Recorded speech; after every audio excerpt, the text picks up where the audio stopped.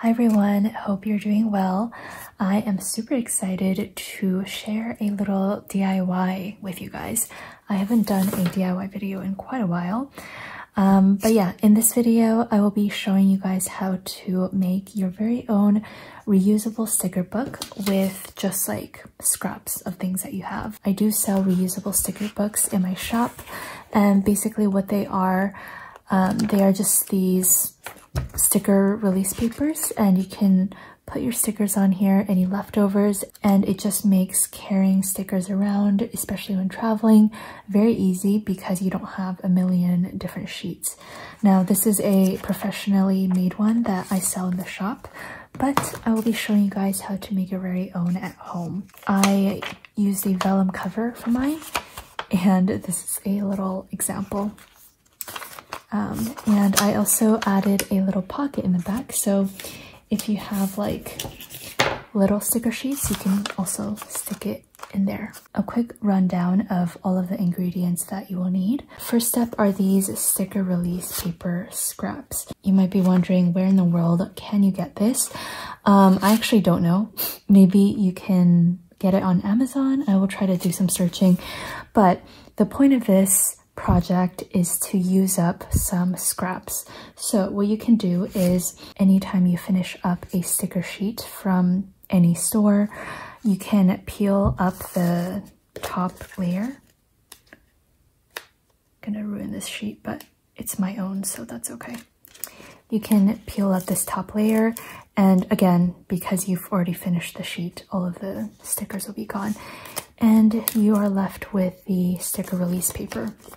So you can just save that, save a bunch of them. Um, the larger ones are from the kids and create this DIY. Okay, then you will need an adhesive of some sort. This is just a adhesive tape runner. You can also use glue, a pencil and ruler, just some regular plain white paper. You can use cardstock or printer paper to bind the pages together. You can use a stapler or you can also sew it together. And then lastly, for the cover, you can use whatever types of paper that you have. I am going to use vellum because it is just so pretty. And one more thing that you're going to need is some form of cutter. You can use scissors, you can use an X-Acto knife. I am going to use my guillotine paper trimmer.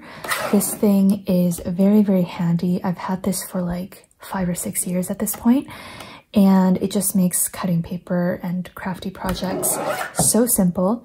Um, I think I got this for like 25 bucks, so I will try to find it and link it down below. Step one is going to be trimming the sticker release paper down to size. You can see that these ones have rounded corners because the sticker sheets in my shop have rounded corners. I want them all to be even, so we are going to use my paper trimmer to do exactly that. I think in the end, I want the width to be three inches. The height is going to be four and a half.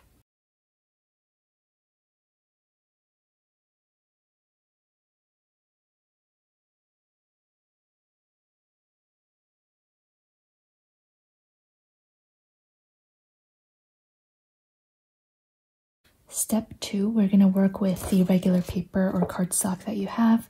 I'm going to put on the screen how to very, very easily find out the dimension that you need to cut.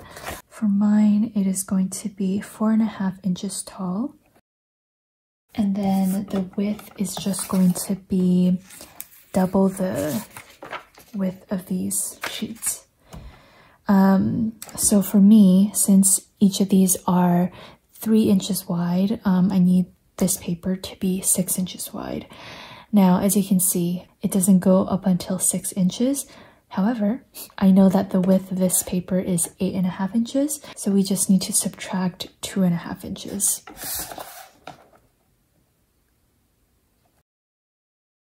Now that we have this, I am just going to fold this in half. Okay, step three, we are going to use adhesive. So with your uh, sticker release paper, one side has a wax coating and the other side is just plain paper. And you want to apply the adhesive on the plain side.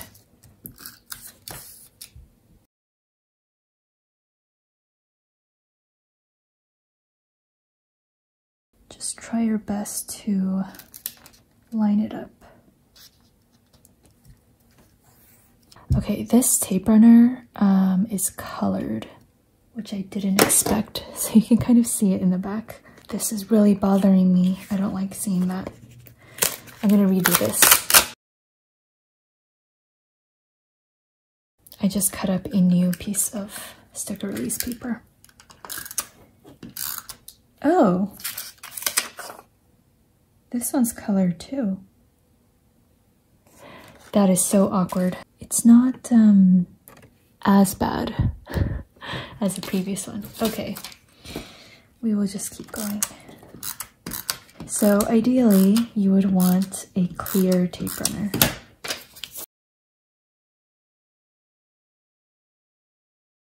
Okay, so we're going to continue doing this until all sides are covered. So we have one, two, three, four.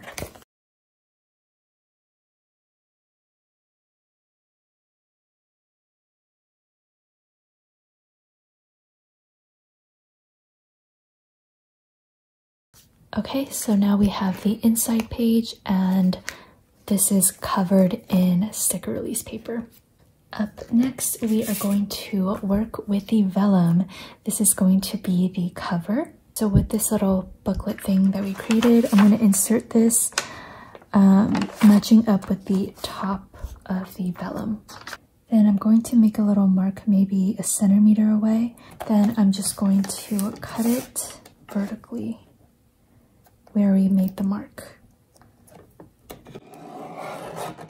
I'm then going to make a mark of where I want the front cover to end and then also where the bottom should be. Then we're going to open up the flap and with only the front cover, I'm going to trim it down perfectly to the size of the front cover. So once you insert it, this should be pretty much perfect. I'm then going to take my scissors and trim down the center up until this mark. This might be a bit more difficult, especially because we're relying on my own accuracy.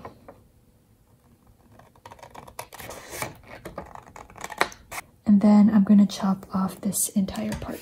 So I'm to push down the guillotine, but I'm to make sure to stop so that I don't cut off this part.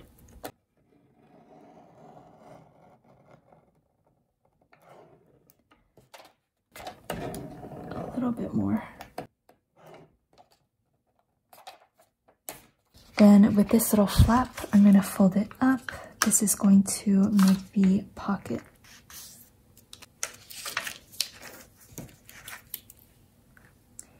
make another mark of where this should end. So then I'm going to trim off this section so that the front and back cover are now the same size. So I'm going to start off by snipping this part.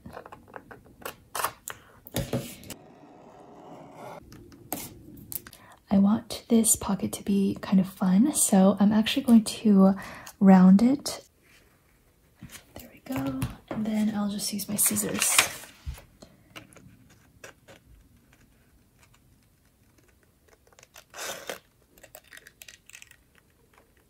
And then I'm going to fold this flap inwards. This is where I'm going to put the adhesive.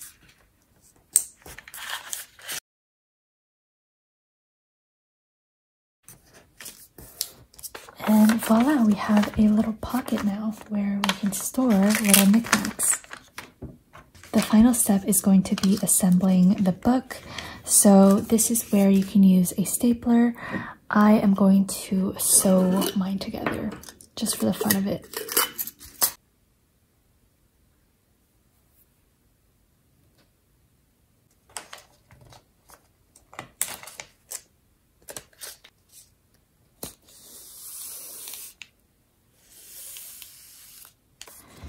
If you have binder clips handy, this is where I would use it. But but I'm too lazy to go get some, so I'm gonna use some clothespins for laundry.